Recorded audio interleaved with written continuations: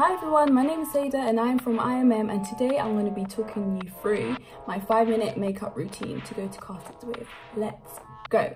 So the first thing I like to do is focus on skincare. I think that's the most important, like having a nice clean base. Um, so the number one thing I like to do is exfoliate. So my favorite exfoliator personally is the Clean and Clear Daily Exfoliating Scrub. Bit of a mouthful, I know, but um, it's gentle enough to use every day and it kind of really gets in there, polishes your skin, gets rid of any dry patches, you don't want those. Um, that's the first thing I do. And then secondly, I go in with moisturizer.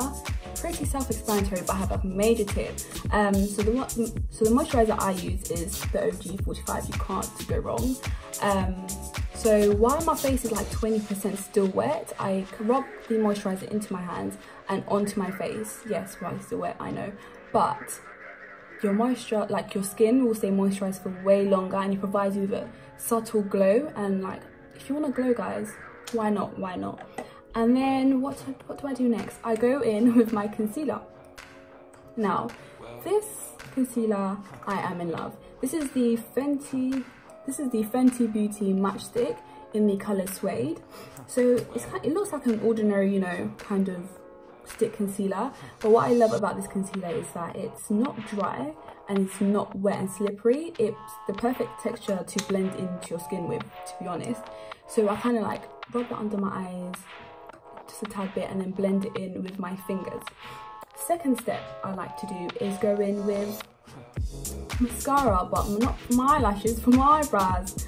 Um, so what I like to do is get like an empty mascara, which has a little bit of product on, and kind of just brush my eyebrows, especially the front bits with this. And what this does, it has the hold of a brow gel, but also has like a little bit of a tint, um, which kind of gives your eyebrows a bit more drama, a bit of character. That's what I like to do. And then onto my lips. What I like to do is find a lip colour as close to my actual natural lip shade and then dab it on in the middle just to get the perfect pout